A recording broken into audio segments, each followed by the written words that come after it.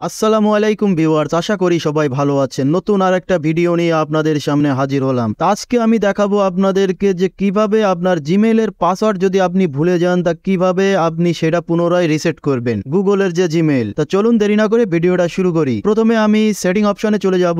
Setting অপশনে যাওয়ার পরে আমি নিচে আসব। আসার পরে অ্যাকাউন্টে চলে যাব। অ্যাকাউন্ট অ্যান্ড স্ক্রিন তো অনেক জায়গায় দেখা যাচ্ছে অনেক ফোনে আপনার অন্য রকম আছে, কিন্তু অ্যাকাউন্ট থাকবেই অ্যাকাউন্ট অপশনে চলে যাব। যাওয়ার পরে এখানে আপনি দেখতে পাচ্ছেন নিচে একদম নিচে আপনি দেখতে পাচ্ছেন অ্যাড অ্যান অ্যাকাউন্ট এখানে ক্লিক করতে হবে। এখানে ক্লিক করার পরে আপনি দেখতে পাচ্ছেন গুগল তো যেহেতু জিমেল গুগলের জিমেল সেহেতু আমাকে গুগলে কানেক্ট করতে হবে। গুগলে ক্লিক করার পরে নতুন একটা ইন্টারফেস চলে আসবে। তা আমার মোবাইলে যে পাসওয়ার্ড দেওয়া আছে, আমি সেটা দিয়ে দিচ্ছি এখানে। দেওয়ার সাথে সাথে ওপেন হয়ে যাবে। তা চলে এসেছে। তা এখানে তারা বলতে যাচ্ছে বক্সে যে প্রথমে ইমেলটা এখানে বসাতে। তা আমি এখানে ইমেল বসিয়ে দেবো। ইমেল বসিয়ে দেওয়ার পরে আপনি লাস্টে অ্যাড্রেডার জিমেল ডট কম না দিলেও হবে। কেননা এটা হচ্ছে জিমেল সমস্যা নেই। আপনার শুধু নামটুক দিলেই হয়ে যাবে। তারপরে আমি নেক্সটে ক্লিক করব। নেক্সটে ক্লিক করার পরে এখানে বলতে যাচ্ছে তারা যে পাসওয়ার্ডটা বসিয়ে দিতে। তা আমার পাসওয়ার্ডটা আমার মনে নেই। তার জন্য আমি যদি এখন একটা অন্য রকম যে কোনো একটা পাসওয়ার্ড দিই আপনাদেরকে দেখাচ্ছি। নেক্সট যদি করি, দেখবেন ইনকারেক্ট পাসওয়ার্ড দেখাচ্ছে এখানে। তার জন্য আমাদেরকে কি করতে হবে? আপনি নিচে দেখতে পাচ্ছেন ফরগেট পাসওয়ার্ড তা আমরা পাসওয়ার্ডটা ফরগেট করব এখন। তা ফরগেট পাসওয়ার্ডে চলে যাব।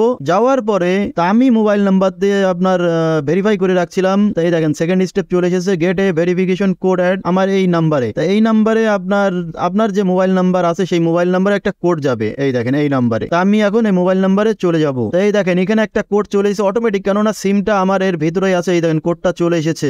এই দেখেন, এখানে আমার নতুন যে পাসওয়ার্ড দেবো, সেই পাসওয়ার্ডের অপশনটা চলে এসেছে। তারা বলতে চাচ্ছে যে current a new password current a strong password যাতে আপনার মনে থাকে এবং খুবই শক্তিশালী একটা পাসওয়ার্ড হয়। আমি এখানে পাসওয়ার্ডটা বসিয়ে দেবো। সেভ যে পাসওয়ার্ডটা দেখছেন, এখানে ক্লিক করে দিতে হবে সেভ পাসওয়ার্ডে সেভ পাসওয়ার্ডে ক্লিক করে দেওয়ার সাথে সাথে, এই দেখেন, তারা বলতে চাচ্ছে যে, আপনার পাসওয়ার্ডটা কমপ্লিট হয়ে গিয়েছে, তা আমি আই এগ্রিতে ক্লিক করে দেবো। আই এগ্রিতে ক্লিক করার সাথে সাথে আপনি দেখতে পাচ্ছেন গুগল সার্ভিসে নিয়ে চলে এসেছে, কেননা আমার জিমেলটা কমপ্লিট হয়ে গিয়েছে। আমি যদি এখন জিমেলে ঢুকি, ঢোকার সাথে জিমেলের যে লোগো আমার যে জিমেলে আমি এখন পাসওয়ার্ডটা চেঞ্জ করেছি, সেটাই যাব। এখানে হচ্ছে আপনার এই যে, একদম নিচেরটা, এইটা। এটাই ক্লিক করব। এই দেখেন জিমেলটা ওপেন হয়ে গিয়েছে। জিমেলটা ওপেন হয়ে গেছে। আপনারা খুব সহজে এইভাবে জিমেলের পাসওয়ার্ড চেঞ্জ করতে পারবেন যে কোনো জিমেল কিন্তু আপনার টু স্টেপ ভেরিফিকেশন করা লাগবে। হয় জিমেল অন্য একটা জিমেল দিয়ে নয় মোবাইল নাম্বার দিয়ে। তা আমার এই ভিডিওটা আজকে এই পর্যন্তই। যদি ভালো লেগে থাকে, অবশ্যই চ্যানেলটি সাবস্ক্রাইব করবেন।